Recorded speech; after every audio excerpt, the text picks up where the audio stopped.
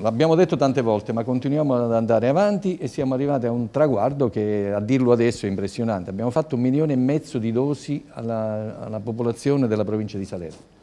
802.000 dosi eh, come prime dosi e 700.000 seconde dosi. E abbiamo già fatto, siamo già partiti con le dosi aggiuntive, 1500 dosi eh, aggiuntive divise tra le dosi addizionali per i fragili e le dosi per gli anziani, 500 e 1000. Questo è il segnale che siamo sulla strada buona, però non dobbiamo abbassare nulla, non possiamo fermarci, abbiamo bisogno di fare, ormai siamo tranquillamente al 75% della popolazione eh, residente nella provincia di Salerno, nella città di Salerno siamo molto più in alto abbiamo quasi il 99%, del, siamo,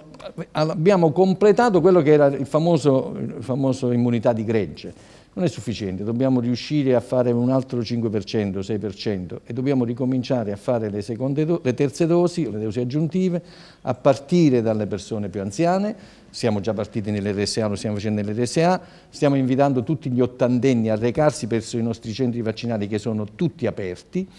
non c'è bisogno di prenotazione, non c'è bisogno di, di presentarsi e fare l'altra dose. Di queste, tutte queste dosi abbiamo fatto 100.000 dosi a giovani da 12 a 18 anni. Siamo ormai eh, su 60.000 dosi ai ragazzi eh, in quest'età già doppie dosi, il che significa che stiamo andando avanti molto bene e l'effetto lo vediamo, cioè nelle scuole si è ripreso, ormai è un mese che abbiamo ripreso le scuole, sì c'è qualche caso ogni tanto, però il clima complessivo, la fiducia complessiva, le mamme sono più tranquille, si è ripreso la scuola. Poi quando succede